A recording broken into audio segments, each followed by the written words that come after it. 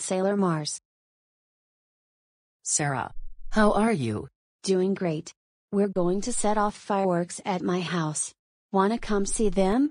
Ooh, sure? I'd love to. Come on, let's go see them. Let's ski-doo. Here we go. Glad you're here Mars. You're really gonna love the fireworks we have. My dad's got some displays of fireworks, and he's going to light them up. Oh good, I can't wait to see them.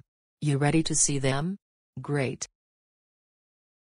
Oh hello Sailor Mars. Glad you could come and see the fireworks. I've got some firework displays, and I'm ready to set them off. But however, we need to figure out the total number of fireworks we have each display before I light them up. Will you help figure how many we have? Will you help figure out how many fireworks there are altogether? Great. Sure, we'll help. Let's see the first display.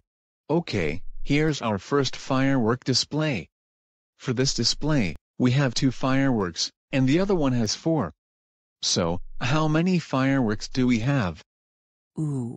Okay, let's count them, and figure it out. Count with me. This display of fireworks has one, two fireworks, and the other one has one, two, three, four fireworks. So, let's count them all together. One, two, three, four, five, six. So how many fireworks do we have altogether? Six. Six, right. There are six fireworks altogether. Because 2 plus 4 equals 6. Yes, that's right. Great adding.